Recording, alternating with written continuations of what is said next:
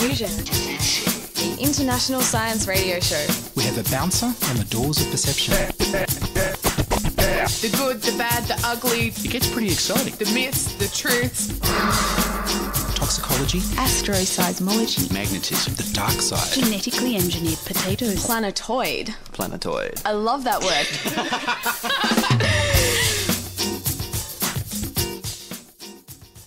Hello and welcome to Diffusion. Sit back and relax while we inject weird and wonderful science directly into your genes.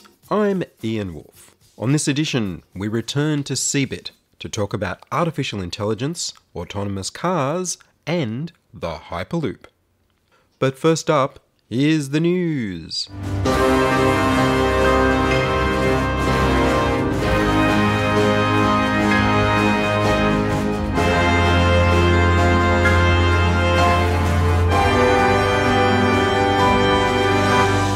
Milk that yeast. Back in 2015, I reported on a Californian company called Muufri. They were crowdfunding to engineer yeast to make casein, the milk protein that cheese is made from, so they could make cheese that didn't involve farming animals.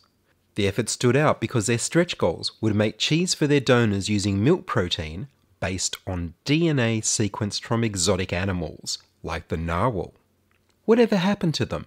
Well, they changed the name of their company to Perfect Day and will be launching animal free milk freshly squeezed from yeast in late 2017.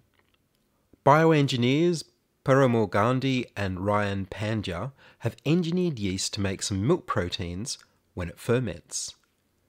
They make lactoglobulin, lactalbumin, and four varieties of casein, but no lactose.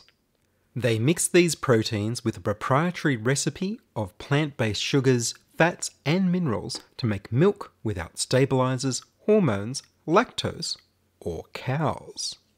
The yeast milk contains A2 protein rather than A1 for those people that are sensitive.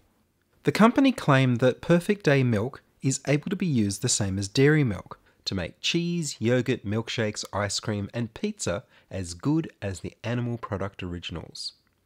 The DNA used by the yeast to make the milk proteins comes from a wet bioprinter that was programmed with the DNA codes for cow milk proteins taken from the full cow genome sequenced and published in 2009.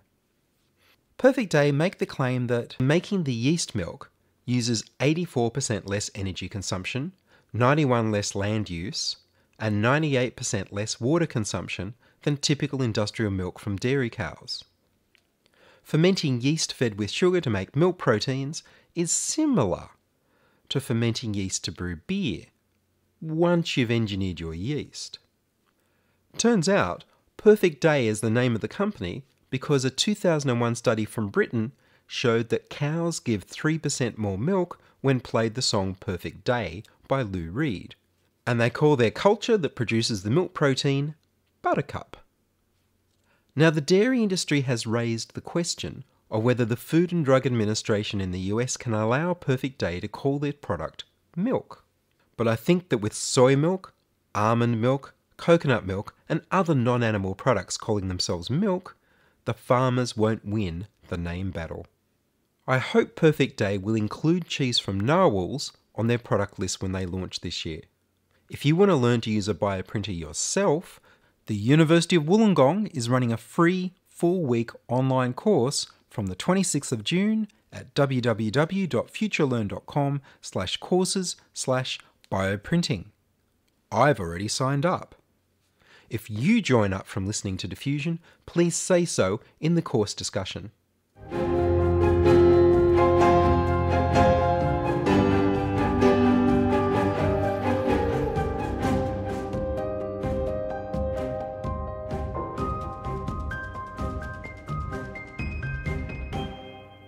You're listening to Ian Woolf on Diffusion Science Radio. Send emails to science at diffusionradio.com. We're brought to you across Australia on the Community Radio Network and podcast over the internet on www.diffusionradio.com. At the Consumer Electronics and Business Information Technology Show, CeBIT, there was a pod like autonomous people carrier, and a more conventional looking self driving electric Volvo at the Australia Driverless Vehicle Initiative stand. I spoke with their representative, Arjan Rensen, and began by asking what is the Driverless Vehicle Initiative? The EDVI is a uh, collaboration with industry, government, research organizations nationally and internationally. And the purpose of EDVI is to make sure that Australia gets all the benefits from an early implementation of driverless vehicles onto Australian roads. And you've got an example of a driverless vehicle here. I can't see any of the sensors. This is a little driverless shuttle bus. This is just a display model. There is actually, you can see a few sensors on there. They work with cameras, laser sensors to basically read the road and to determine where to go, to uh, stop and start for auto traffic, and to avoid uh, hitting obstacles. And about how fast do they go? Theoretically, they can go up to 45 kilometers an hour. When they are deployed in the real world, they normally deploy around 15 to 20 kilometers an hour. It's basically the, for the last mile from the station to your home or from the station to your office, and it basically replaces or walking or uh, short uh, trips on buses. And the initiative is working on this kind of technology? The technology is basically mainly developed overseas. We try to get Australia ready to deploy it on actual roads in Australia. So, how does Australia get ready?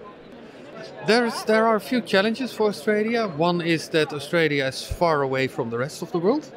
We only represent 1% of the global car market, and I think we need to create an environment that's attractive for overseas manufacturers to basically come and play in Australia. And when or if we are early adapters, there's a whole high tech industry that we can build on the back of it. Universities, high tech uh, jobs. Uh, EDVI has uh, done an economic outlook, and we believe that as an early adopter, we could create 16,000 high tech jobs. And so we'd be importing these autonomous vehicles. Would they mainly be as buses? I think one of the early, we, we call it user cases, you can call it uh, applications, is driverless buses. You see them there deployed already in Perth, in Auckland, in New Zealand. There will be a trial in in Sydney, and these RDM shuttle that is on display they will be deployed in Adelaide later this year. That's the first application. But if you look at, at modern cars like the Volvo behind you, that's already a semi-autonomous car. It drives itself in city environment and on highways. So with the Volvo, you drive it yourself for some other way and it knows the way for the rest? The Volvo, unlike the shuttle buses that drive on a mapped route, the Volvo and other uh, cars they read the road, and there's some mi- minimum requirements on the road environment, for instance, line marking, for them to uh, read the road and operate properly and safely. Is the legislation ready for these sort of cars on our roads? It's a bit of a grey area. The legislation says that a driver needs to be in control and a driver is responsible. So, with the current semi autonomous applications, the driver always need to hold the steering wheel. That's absolutely critical. The the driverless shuttle buses currently on the road, there's exceptions, but there is in all of them there is an operator who basically has the task to take over control when necessary and when required. Is there a danger if the operator's not doing anything for most of the time that they could sort of fall half asleep? It's an, it's an interesting question. Humans are not very good in monitoring a passive task, so they tend to fall asleep, get distracted. That's definitely an issue that's been addressed to, by making sure that the operators are properly trained and they don't do very long shifts. I don't think we will need these operators for very long because I think the technology will prove itself pretty soon. And I guess the inevitable question is about what happens when things go wrong. Who's responsible? That's one of the questions that need to be addressed. At the moment, the legislation says that the operator is uh, responsible, but that's a discussion that needs to be addressed moving forward because at one stage there might not be a driver at all in the car. And then the car is responsible, or the manufacturer, or the software supplier. That's an issue that needs to be resolved. And what are they programmed to do if they think the car's in danger? Do they pick the pedestrians or the passengers? That's an ethical discussion. There's a lot of people involved in the ethical discussion. I think there's opinions, but there are no solutions. I do have a personal opinion. I believe it's uh, dangerous to program any computer to operate in a gray area. As human beings in traffic, we constantly operate in gray in a gray area. I think we, sh- uh, my personal opinion is we should program a computer to be black or white and should always follow the road rules. Then the ethical discussion is is do I hit a young family uh, on the road or an elderly man on the footpath? I think there's a few things we need to consider in answering that question. The first one is that we teach people not to swerve because you can't oversee the consequences. I don't think a computer can oversee the consequences because you just can't see. And it's also important to realize that an automated car will respond significantly quicker than a human being. So the severity of the crash, if a crash occurs at all, will be significantly less than with a human driver. I think the whole discussion about autonomous vehicles is quite exciting, and if you start thinking what could potentially change in our life in 5 or 10 or 20 years, it's just mind blowing. It could challenge how we look at urban planning, how we look at public transport. Electrification and automation go sort of hand in hand, so it will really change how we use petrol, but also all sorts of uh, products related to petrol, like plastics, bitumen, and whole industry will change. I think our whole world might change as a result of it, and I think that's quite exciting. There is people, a lot of jobs will change. I wouldn't say people, a lot of people will lose jobs, but it will change. But it's a bit comparable with automation because when automation and computers were first introduced, people were afraid that employment unemployment rates would rise but in the end there's only more jobs today so I expect that jobs will change but i hope and i think that unemployment won't rise. That's sort of my main message. And if people want to contact the Driverless Vehicle Initiative, how do they do that? we do have a website. It's www.edfi.org.au and please visit it and every organization that wants to become a member of EDFI and be involved in the discussion please visit the website and please put an application in to join. Well, thank you very much. Thank you That was Arjan Rensen from the Australian Driverless Vehicle Initiative. You can find out more at www.advi.org.au. I also saw a large pod next to some pictures of Elon Musk's retrofuture vacuum tube high speed transport system, the Hyperloop. Anjelo Fernando is an assistant designer at VicHyper. I began by asking him, what is VicHyper? VicHyper was one of the first teams that actually got to test out in, in a Hyperloop system. We built a pod competing against 1,700 teams around the world. We came to the top 30 and we managed to ta- build a pod, take it to Los Angeles, and actually test it out. So, if we can go back a step, can you just briefly describe for the few people who don't know, who've been under a rock, what is the Hyperloop? So the Hyperloop is uh, it's an idea that's been around for a while. It's similar to having a train, except rather than having it travel on a track, you have it traveling in an enclosed tube. Soon as you pull out the air in that tube, you can reach to speeds much higher than put the current trains can travel. Ideally, the upper limit is around 1,200 kilometers an hour. This means Melbourne to Sydney is within uh, less than an hour is a very good possibility. So, that's faster than the very fast train. It is much faster. The tra- fastest trains you have is, uh, I'm not sure the exact value, but it's, it's around 4 500 kilometers an hour. So this is this can actually get you faster than a plane in some cases because soon as you consider the time of boarding in and stepping out, it's faster than a plane as well.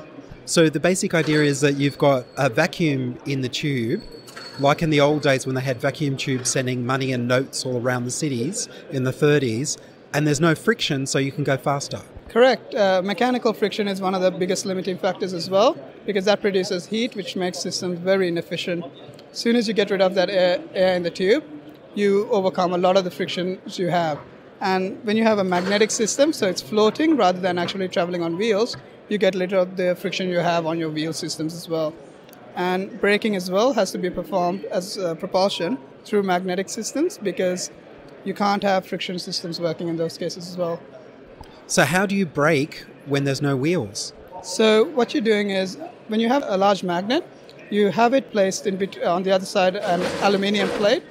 So your magnetic field can travel through a vacuum or through air. It travels into your aluminium plate, and that actually creates a field inside the plate, and that causes a magnetic drag that slow, helps slow down the pod. It's similar to sort of dropping a magnet through an aluminium tube where it doesn't fall down immediately but slows down as it goes down. So, Elon Musk is bringing students in. So Elon Musk actually enabled the idea. He built the infra- the first test tube to actually test out the system, and he open sourced the idea and invited university students and anyone actually to build concepts that could actually work uh, for the Hyperloop system. And you had to compete for the privilege of going to see the Hyperloop. Yes, so the first round was a design round, and uh, in that case, we had to put forward uh, the design we hope to build. And from over 1,700 members, we managed to narrow, come down to the final 30, which got to actually build it and test it out. And so, what's next for you? You've you've built it, you've tested it, you've gone to LA, and what's next for the team? So right now we've gone uh, we've gone incorporated. RMIT University is still uh, providing us with a lot of resources to go forward, and we're looking at building the remaining technology to actually get the Hyperloop working, and also improve the technology we've built so far. Is there any interest in building Hyperloop technology in Australia so we can travel fast? Yes. So the Melbourne to Sydney route is actually the most traveled overland air route in the world, but we don't actually have any high-speed rail traveling between the two. The Hyperloop actually gives you the chance to have passengers go overland at much faster speeds and also connect all the regional towns you have in between and have connected to Australia much, much better than we have right now. It's been a wonderful experience and the Hyperloop seemed unrealistic when we started one year ago, but within one year we've learned what it is and we've actually got scaled versions of prototypes running, so it's definitely not fiction. It's something that we hope to see very soon in the future. Well, Angela, thank you very much. Thank you for uh, getting us uh, out there as well. It's been nice talking to you. That was Anjelo Fernando from VicHyper, designing the braking system for the ludicrously fast Hyperloop. My eye was caught by the robot of a startup selling artificial intelligence to businesses. Samir Sinha is the founder and CEO of Robonomics AI. I began by asking Samir to explain what is Robonomics AI. Robonomics AI is a technology startup that helps clients go through the journey of AI adoption. We integrate components of technology and offer it as a service. So, for a client that's been, for a CIO or a technology head who's been asked by the CEO or the board, I've read AI can change my world, go do something about it, and they're scratching their head, where do we get started? That's where we come in. We look at their business, we look at how technology can help create new customer experiences for them, new business models for them, and then we look at what kind of technologies would be required to deliver those outcomes. Then we go to a set of our ecosystem of partners. We get the right kind of partners come together, and then we stitch together a solution which is built on our proprietary platform. These solutions would entail, let's say, an internet connected device like a drone or a wearable device or a medical device that transmits data. That gets fed into an artificial intelligence platform that does big data analytics and prediction about what output or what could happen next. And all this is stitched together where we interact one on one with end consumers using our not so pretty robot. So, overall, there are components that can actually come together to disrupt multiple industries. But in this case, it's people coming to you saying, How can I apply artificial intelligence to my business? Actually, it's more like people coming to me to say, I want to increase my revenues, or I want to cut down my cost, or I want to reduce risk, reduce injuries in my business. And then normally people would go about doing it using manual methods. The approach that we follow is start with automation. And we call it AI first. So, whatever you want to achieve, if we start with automation, how would we redefine your business process? Look at multiple technologies, stitch it together, redefine that process. And wherever you need people interaction, human interaction, or wherever technology is not up there, that's where we use people. As opposed to let's do it manually and sprinkle a bit of automation. We're going exactly the reverse way. Start with automation and then bring in people when required. A bit like the mobile first approach or the cloud first approach. So, the new wave that's going to come on in the industry is essentially an AI first approach. So it's designed for artificial intelligence from the ground up. Exactly. That's right. So that way it's not a filler sort of applied to, to gaps that might all fall apart later. Yes, the fillers in, in our case are the manual methods. The code is automation. So it's a radically different way of delivering outcomes. Look, each of these component technologies has the potential to disrupt specific industries globally. We are taking these very technologies as the building blocks and we are making them sing together out of the same song sheet. So, the power that a user organization would get by integrating these powerful technologies is incredible. And the world is about to change with this approach. We are here to basically help the customers go through the path. You have two choices as a customer. In the wave of automation and learning from history, you can either be the horse drawn carriage you can either be the roadkill or you can own the road. And that's what we are in business for to help you own the road. Well, Samir, thank you very much. Thank you. Thank you. It's been a pleasure, Ian. That was Samir Sinha at CeBIT talking about Robonomics AI, helping organizations integrate artificial intelligence into their business from the ground up. In countless ways, directly and indirectly, your product here serves the nation and its citizens, plays a vital role in helping every American to achieve a better way of life, enables or helps him to enjoy healthful recreation, have well trained, obedient pets, make friends, have leisure time for travel, grow bigger crops real smoking satisfaction. Strengthen our national defense. Keep romance from fading away. Enjoy smoother shaves. Live in a more comfortable home. Take off ugly fat. Achieve success. Thus, the Your Name Here story a story of refusal to admit defeat. A story of gallant men and women who kept faith and who molded the universal dream of a better life into reality through your product here, the living symbol of our national heritage, and whose contributions to the betterment of mankind will never be forgotten. And that's all from us this week on Diffusion. Would you like to hear your voice on radio?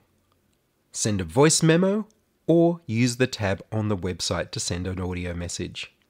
We need more people contributing stories to Diffusion.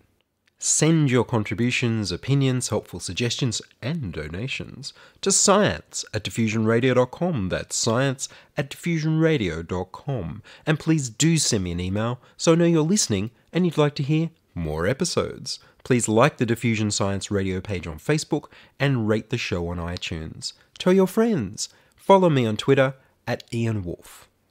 Be my patron at patreon.com slash diffusionradio. The news music was Rynos theme by Kevin MacLeod of Incompetech.com. Checking production was Charles Willock. I produce Diffusion, which is broadcast around Australia to 27 stations on the Community Radio Network, including 2RBM in the Blue Mountains of New South Wales, 8CCC in Alice Springs and Tennant Creek, 2 NVR in Nambucca Valley, and 3 MBR in the Valley Border districts of Victoria and South Australia. Diffusion is syndicated globally on the National Science Foundation's Science 360 internet radio station and also on astronomy.fm. Subscribe to the podcast on the Diffusion website www.diffusionradio.com. That's www.diffusionradio.com and check the website for links, photos, and videos about this week's show. If you enjoyed the show, you can explore more than 900 previous episodes archived on diffusionradio.com, where the shows are labeled by keywords so you can focus in on the stories you want to hear. Subscribe to the Diffusion YouTube channel at youtube.com slash c slash diffusionradio. I'm Ian Woolf. Join us inside your audio device of choice for more science wondering next week on Diffusion Science Radio.